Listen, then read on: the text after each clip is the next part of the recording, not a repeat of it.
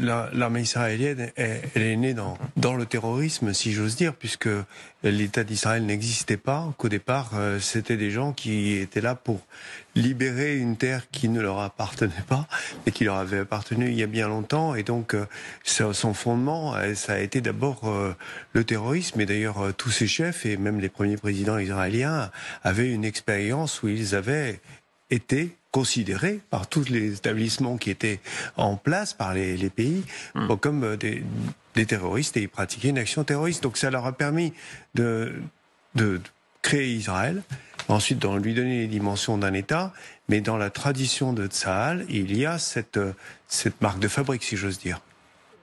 Écoutez, euh, oui, non, je vois pas, je vois pas tout à fait les choses, je vois pas du tout les choses comme ça.